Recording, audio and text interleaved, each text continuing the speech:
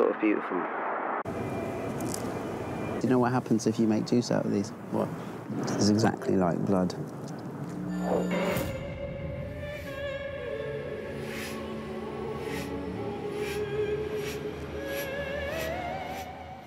From Taylor Swift being named Time magazine's Person of the Year to a chat with the new darling of the art world and the new film from French director Ladj Ly, whose previous movie was up for an Oscar. Thanks for joining us for a look at what's happening this week in culture. And let's start with the artist who's been awarded the prestigious Turner Prize. His work has been described as delirious and juggling with themes of Brexit, nationality, identity, bureaucracy, immigration, and austerity. Humorous and bold, it's made up of net curtains, crowd control barriers, washing lines, bunting, and ring binders, among other discarded junk. We can speak to Jesse Darling now from Berlin. Jesse, congratulations. As well as having the most fabulous name ever, uh, you have just won one of the biggest prizes in the art world. How are you feeling? Uh, well, I'm leaning into it. I accepted the nomination, so I better accept this too. Uh, the money's good. The Turner Prize jury commended you for your use of materials and commonplace objects like concrete, welded barriers, hazard tape, office files, and net curtains to convey the reality, the messy reality of life. Um, do you see your work as a State of the Nation address? And what are you saying about the world today? Well, look, this is probably the most public show I'll ever do in in Britain, you know, my home country. And knowing that, I wanted to make a show that, um, you know, would sort of address that directly.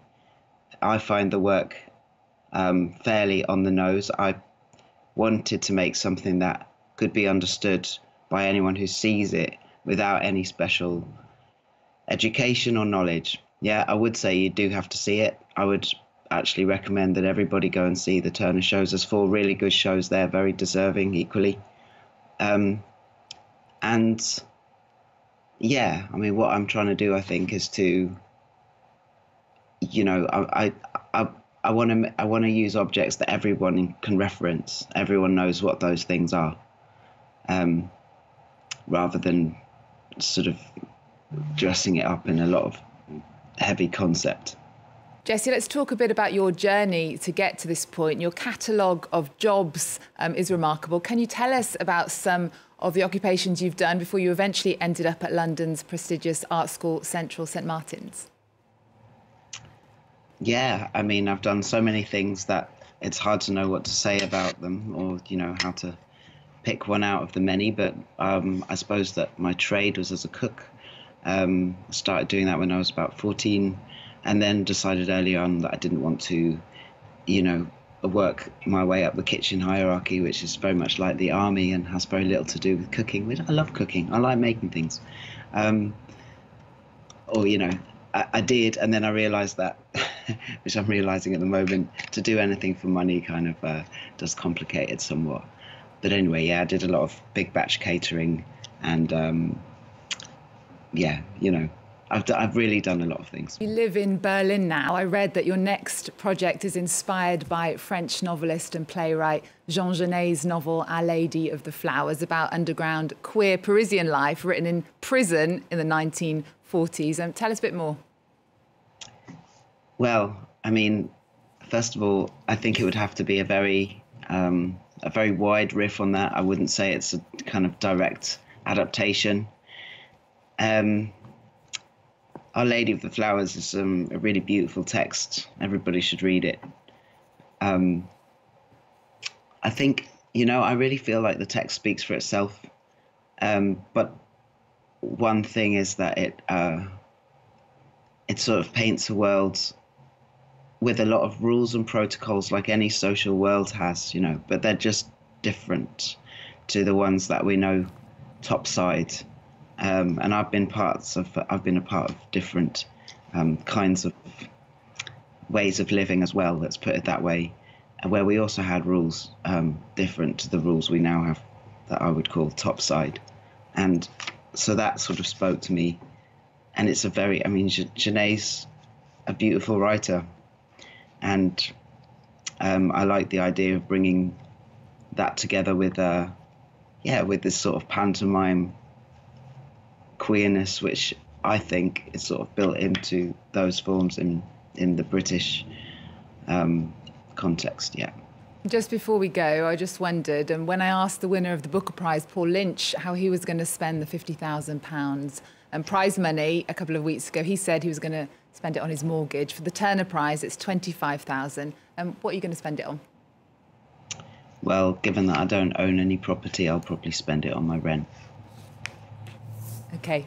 All right, well, Jesse, um, good luck. Thank you for chatting to us. Stay with us um, until the end of the show. We're just about to talk about some of the other culture news taking place this week in the world of arts. And we're going now to French director Ladj Ly. He has released the second film of a trilogy he's creating on the French suburbs. The first, Les Miserables, went all the way to the Oscars. Bâtiment 5, meaning Building 5, covers the hot button topic of the French housing crisis. It follows a young woman's fight to save the building where she grew up from demolition. Here's Charlie James. He made a mark on moviegoers with Les Miserables. Ladj Ly won three French César Awards, a jury prize at Cannes, and an Oscar nomination. The inspiration for his next film also came from the apartment complex where he grew up in, in the eastern Paris suburb of Montfermeil.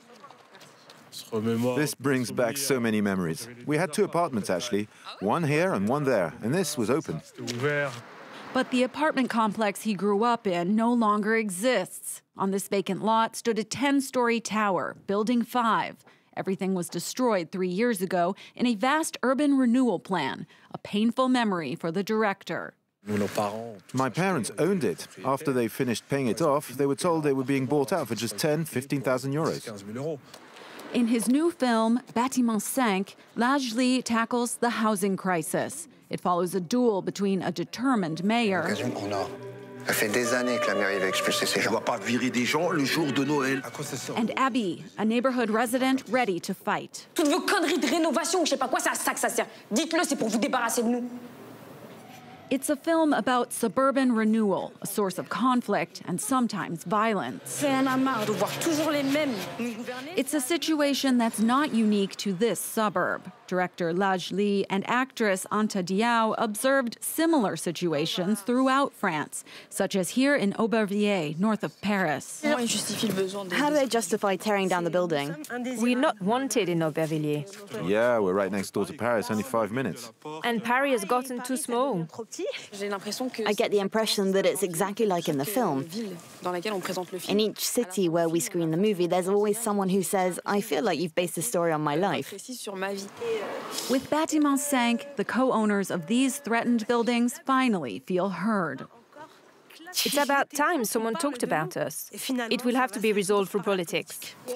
Elections instead of violence. That is the message of the film. Well, the other big news this week is that Taylor Swift has been named Time magazine's Person of the Year. The star follows the likes of Barack Obama, Greta Thunberg, and Vladimir Zelensky. The award goes to an event or person deemed to have had the most influence on global events over the past year. I wonder, Jesse Darling, um, Taylor Swift is the first person of the year to be recognised for their achievement in the arts. What do you think about that? Are you a Taylor Swift fan? Oh God, this is a question that uh, you didn't prepare me for. Um, am I a Taylor Swift fan? Um, God, you know that's kind of a personal question. you know, if it, like a lot changes depend on how you answer that question. I'll tell you what. So I'm going to have to like all really serious political commentary. I'm going to have to no comment that question right now. Thank you so much. What do you think about a person in the arts then being rec- recognised as um, Times Person of the Year? That's a good thing for the arts, isn't it? Um, look, the arts are just part of the world. You know, they um, they really are like science, politics, religion, anything else. They're just uh, one of the sort of technologies of meaning making, and uh, it all hangs together. Yeah. So um, I, I, was a bit surprised to hear that after Zelensky, you know, Taylor Swift has made the most impact on um, world events this year. But hey. Uh, we're not, not, We're not I... on the we're not on the jury anyway. Well, last month um, Taylor Swift was declared a billionaire. Her tour has broken box office records. It sees the singer perform a career spanning 45 song set every single night. We're going to leave you a taster of that tour. Thank you to our guest today, Jesse Darling, the winner of this year's Turner Prize. And congratulations again. And thank you for joining us. See you next time.